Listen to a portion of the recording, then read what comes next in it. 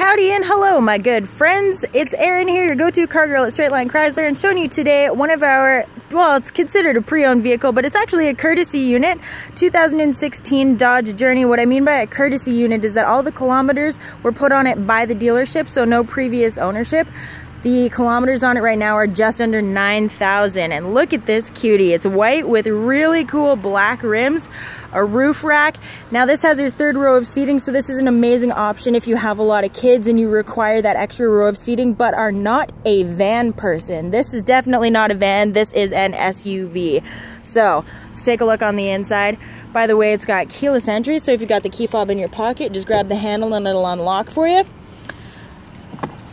power seating controls including lumbar support, black interior, large touchscreen here. In the back you can see all of those seats, climate controls for the kids up here.